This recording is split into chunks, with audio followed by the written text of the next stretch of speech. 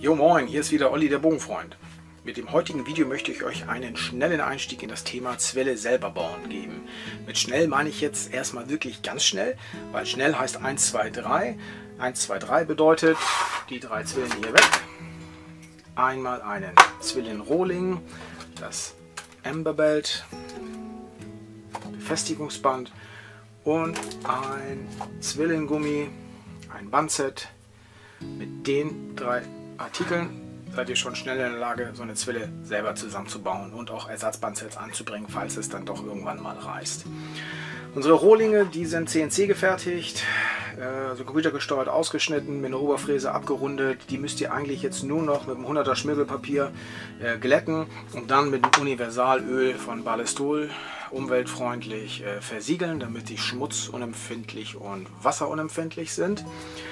Dann werden diese Bandset-Enden hier an der Zwille befestigt. Das ist ein OTT-Modell, das bedeutet OTT. OTT heißt Over the Top. Die Zwille wird quasi so geschlossen. C-Griff, einmal hier anpacken, ähm, die Gummis über die Wurfgabelenden führen, ausziehen und zack, Feuer. Und so wird Schuss für Schuss äh, erfolgreich bewältigt und die Bänder halten und halten. Ich habe jetzt immer wieder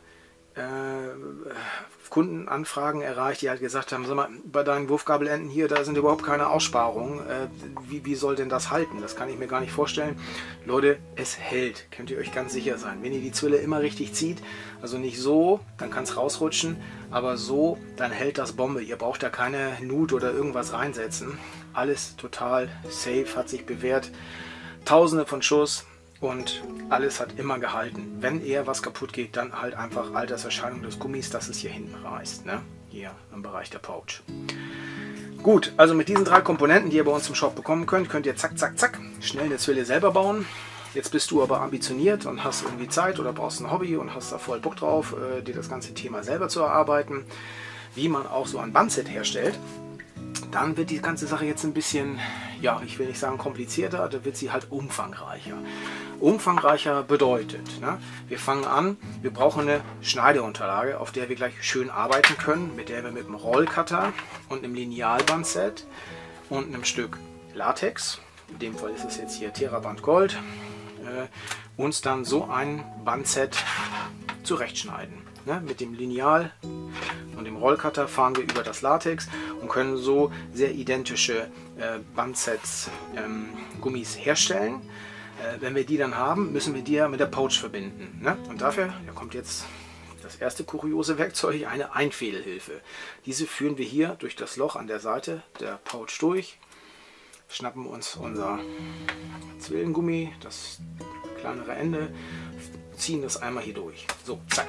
Dann richten wir das Ganze aus und jetzt müssen wir das befestigen. Ne? Jetzt kommt das zweite kuriose Werkzeug. Wir legen das so rüber, schnappen uns das und nehmen, nehmen unsere Arterienklemme. Jawohl, Arterienklemme, hast richtig gehört.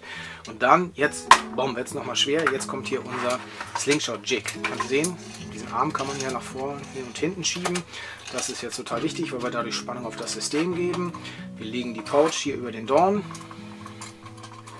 führen die Klemme hinter diesen Haken ziehen das Ganze aus und haben jetzt hier Platz, um an dieser Stelle eine Wicklung anzubringen und quasi äh, dieses Bandset an, dem, an der Pouch zu befestigen. Hierfür empfehlen wir euch Crystal String. Das ist wohl das meist, weltweit meist eingesetzte Wickelgarn, Befestigungsgarn äh, für Bandsets. Und jetzt schaut mal, ich klemme das jetzt total fest. Ich habe hier 3 cm Platz dazwischen. Jetzt ziehe ich mal dran. Schaut mal, wie hoch elastisch das ist. Das ist echt krass. Und das ist natürlich super, weil so ein elastisches Garn an einer ähm, Pouch äh, Bandset-Verbindung, die natürlich starken Kräften ausgesetzt ist und schön gereckt wird. Wenn wir hier so ein Gummi haben, was halt auch elastisch ist, dann hält das einfach länger. Können wir einfach mehr Schüsse mitmachen. Deswegen immer die Empfehlung elastisches Crystal String Garn. So, wie das geht, seht ihr in einem anderen Tutorial-Video.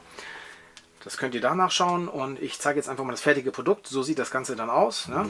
Schön ziehbar hier, das hält alles, Bombe, äh, alles cool. Und jetzt kommen wir wieder an den Punkt, okay, jetzt muss ich das ja wieder mit diesem Amberbelt Band hier an der Zwille, an den Wurfgabelenden befestigen, um dann zack, hier so eine fertige Zwille zu haben. Wie das geht, seht ihr auch noch in einem anderen Tutorial. Mir ist jetzt erstmal wichtig, dass ihr versteht, äh, wie so eine Zwille äh, vom Aufbau her äh, zusammengesetzt wird, wie die einzelnen Elemente geschnitten werden. Und ihr könnt natürlich Geld sparen, wenn ihr das alles selber macht. Es ist auch einfach ein schönes, cooles Hobby und ja, schöner Zeitvertreib und macht das Thema für einen auch selber einfach nochmal einfach ein bisschen sympathischer und man steigt einfach tiefer ein und das fühlt sich eigentlich auch ganz cool an, muss ich sagen. Gut, ich hoffe, das hat euch soweit geholfen. Dieses Zwillenschießen ist übrigens auch ein sehr gutes äh, Hand-Auge-Koordinationstraining für Bogenschützen. Ähm, wird wenig kommuniziert, aber äh, ich habe selber festgestellt, äh, ich kann manchmal nicht immer mit dem Bogen in den Wald gehen oder auf den Platz gehen und schießen, aber ich bin relativ viel mit dem Hund spazieren und da kann man mal einfach ein paar Schlammkugeln mitnehmen, so Tonkugeln, schießt auf ein paar Steine und man lernt sehr gut ähm, äh, damit die Abläufe nochmal, die auch beim Bogenschießen ähnlich sind. Ich muss halt die richtige Spannung halten, ich muss ankern, ich muss vernünftig lösen und man lernt dann wirklich auch nochmal Präzision durch das Zillenschießen und das hat sich tatsächlich auf das Bogenschießen ausgewirkt. Also kann ich nur empfehlen, wer Bogenschütze ist, der sollte auch Zwillunke sein. Und dann hat man nochmal eine kleine Zwille dabei, mit der man halt schön trainieren kann. Ja, ich hoffe, euch ein paar Anregungen gegeben zu haben. Ähm, und verbleibe erstmal. Vielen Dank fürs Zuschauen. Bleibt bitte gesund und wir hören und sehen uns äh, dann mal bei mir hier zu Hause, hinten im Schießstand auf dem Garten. Oder ihr äh, bestellt einfach bei uns im Shop und habt mal noch eine Frage, dann ruft an oder schickt mir eine E-Mail. Ähm, ihr könnt mich auf viele Art und Weise erreichen. Ja, alles Gute, bis bald.